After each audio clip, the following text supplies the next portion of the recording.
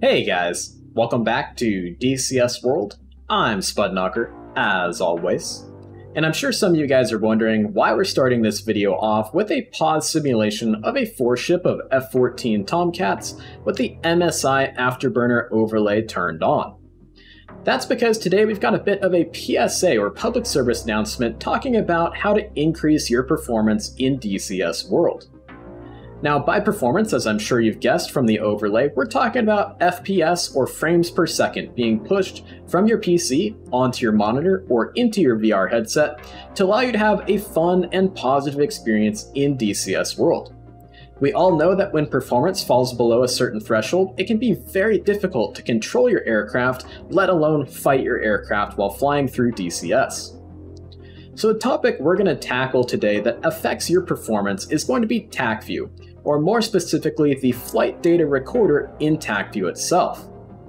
Now this video is not an attack on TACView or its developers, and a ton of pilots in DCS World, especially the very experienced DCS World pilots and competitive pilots in situations like SATAL, absolutely swear by TACView to enhance their skills in BFM, ACM, and BVR engagements against their friends in the AI, as well as to help sort out those very complex and confusing missions. Did I actually down that MiG, or did my wingman? Did my bombs hit the target, or did I whiff? But TACView unfortunately has a corresponding performance penalty on your system because of the fact that TACView, in the creation of those .acmi files, is recording the trajectory, arc, the hits, the misses, the flight data of everything in DCS World that's flying around, from bullets to missiles to aircraft to ships, everything. And so when you're flying in a very complex mission on say a map that's a little bit resource hungry like say Syria or the Mariana Islands, it might be a good idea to turn your flight data recorder off to get that extra bit of performance to give you a very fun experience in those very complex multiplayer or campaign missions. In my testing here, I've found that turning off the flight data recorder of TACView in a very complex scenario can increase your FPS by as much as 20 FPS, which is very, very significant, especially for those VR users. Now, my PC is not the absolute bleeding edge anymore thanks to the CPU and GPU shortage out there.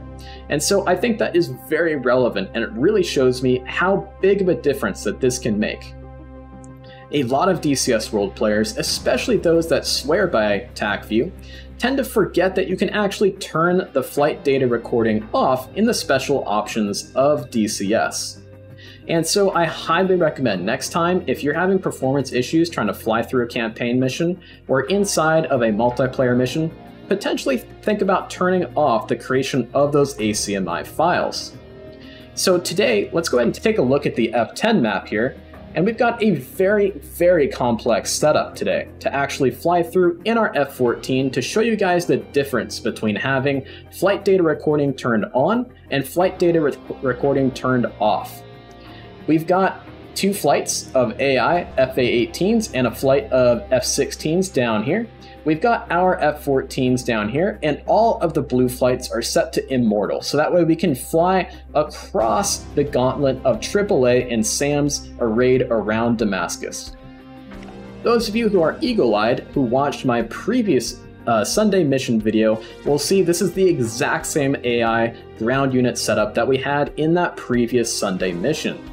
So it'll be very representative of what you would see in, say, a Sunday mission if you decide to fly with us one day. So with that in mind, let's go ahead and hop into our F-14 and take a look at the current FPS, the minimum FPS, the average FPS, and the maximum FPS shown by MSI Afterburner with the TACView actually recording ACMI files as we fly through this very complex setup. So we'll go ahead and unpause and we will turn on our benchmarking data. And we can see our average FPS is hovering about just under 40, so about 38 FPS at the moment. And of course, as you fly through a mission, you're going to be looking around. And as you look around, of course, that increases your FPS if you're not looking directly forward in your cockpit the whole time. We can definitely see reductions in FPS in the different parts of the aircraft that we're looking at. Or whether we're looking at multiple aircraft models around us, if say we're on the deck of an aircraft carrier. And we can see that uh, an SA-5 is definitely shooting at us at this point, and the AAA batteries down there should also start to open up on us. Our average FPS is still hovering right about 39. Oh, there's some tracers from the S60 batteries that are down there. We, uh, we've got a bandit. 075, 58 miles. Oh, wait, sorry, 47 miles. We've also got three flights of enemy interceptors coming out to hit our flight of F-16s, F-18s, and of course our F-14 flight as well.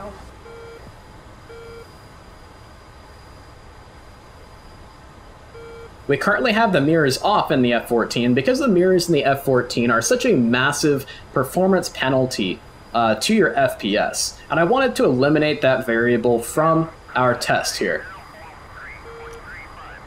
Let's bring the jet a little bit back to the left, and we should have an SA-2 site down there. That will hopefully engage us as well as a good performance metric.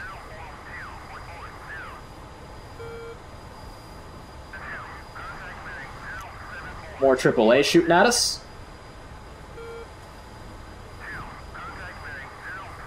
There's some more tracers coming up.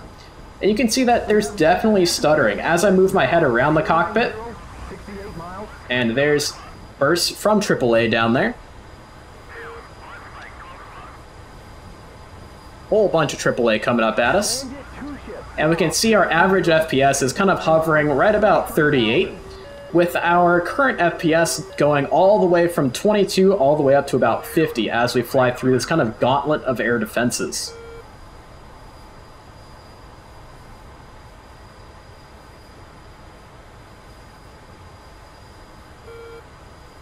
Alright, so it looks like we're kind of out of the thick of it when it comes to all of these air defenses around Damascus.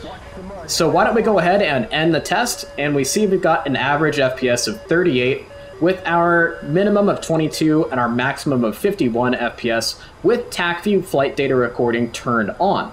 So let's go ahead and hop out of this mission, turn the TacView flight data recording off, and see what we get for frames per second. Okay guys, here we are on the home screen of DCS World, and this setting to allow us to enable or disable flight data recording in TacView is very easy to access, allowing you to turn it on and off according to your needs on the fly, going from, say, a practice session flying against your friends over to a very extensive and very complex multiplayer mission. So all you gotta do is just come up here to the top left of the DCS home screen and click on the cog icon to access the main uh, options screen of DCS World.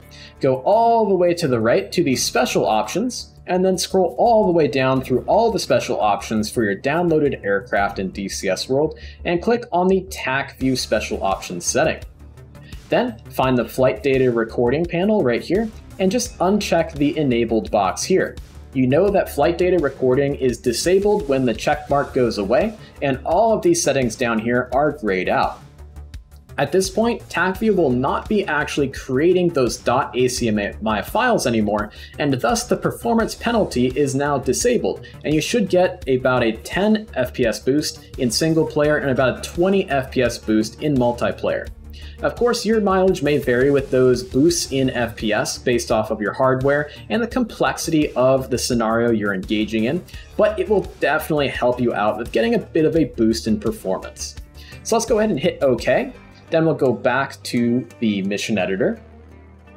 File open. We'll go back to our same testing scenario. As you guys can see here, very, very complex scenario.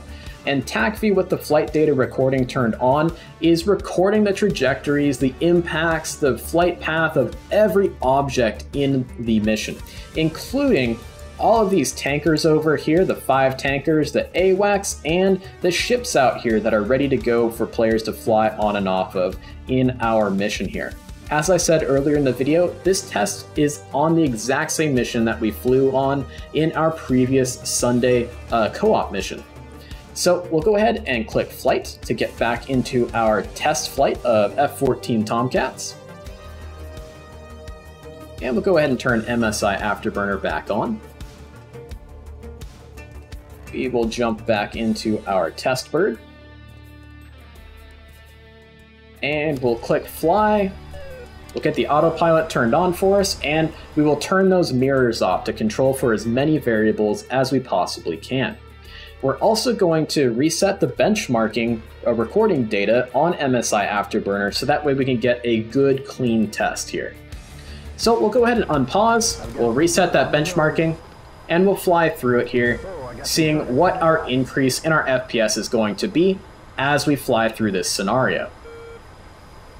Again, as we look around, scanning for threats, looking for MiGs, SAM launches, things like that, that's going to change our FPS, especially in the F-14 Tomcat with a highly detailed cockpit. And we can see an SA-5 is currently shooting at us. We've got nails from MiG-29s, SA-2s, and other units around the map at this point. And we'll raise the nose slightly so that way we don't descend. And we'll start to get in range of various AAA batteries as well. But as you guys can see, our current FPS, which is the furthest left FPS uh, on the MSI Afterburner overlay, is staying consistently about 10 FPS higher with TACView data recording turned off. Now we're starting to get some tracers from AAA batteries firing up at us. So in DCS World single player, the change in the boost of your performance is going to be a little bit lower than in multiplayer. In multiplayer, because TACView has to record data from clients, and that data has to then come through your network, that tends to be a bit more of a performance hit than when you're flying in single player, where all of that data is local to your PC because it's, of course, just AI flying around you. But as you guys can see flying through this, our average FPS is about 10 FPS higher than when we had... Whoa, there's some tracers coming up there.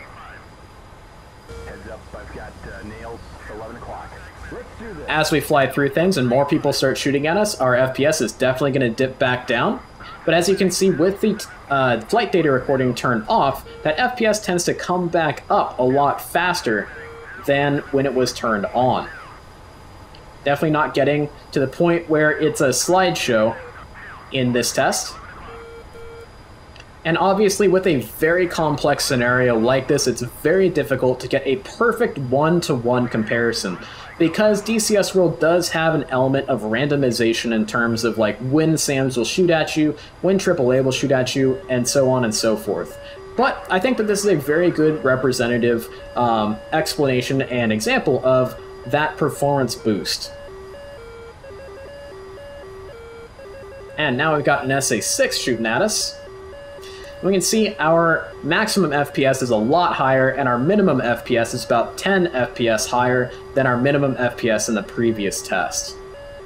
Our average FPS is also a good 10 FPS higher than in our previous test as well. Just so to reiterate here, I am seeing a bit of a higher performance boost in multiplayer with flight data recording turned off than I am in single player. And, and, like I said, based off of your hardware and your setup and the complexity of the scenario you're flying through, it may be different for you. And this is also based off of the fact that flight data recording, it's recording every single little thing happening inside of DCS World. Every single bullet fired, every single SAM launch, weapons drop, missile launch, everything. And so that is obviously going to be a performance penalty, and turning that off is going to give you back some performance, whether it's a super simple mission or a super complex mission. And again, as I said earlier in this video in the intro, so many people use TACView and so many people have TACView downloaded, I think that people tend to forget about this setting and how this setting can affect your performance in DCS.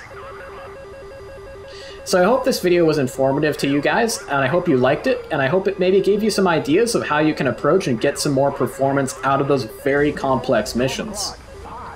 So, Have a good rest of your day, guys, and uh, fly safe out there, and we'll see you in the next one.